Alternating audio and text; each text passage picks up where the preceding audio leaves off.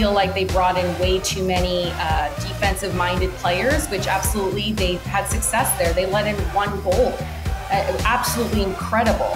However, you need goals to be able to, to succeed in this game. And I feel like it started with really the back line up. I felt like the, the, the, players up top did what they were supposed to do as far as getting in behind. They just didn't have people providing them the service.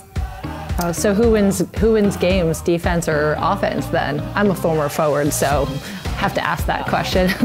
yeah, you're right. Yeah, I mean, I, I feel like who wins games is really honestly the midfield. When when I look at the top teams that we've had in the world, male, female, the midfield that dominates typically wins these high championships.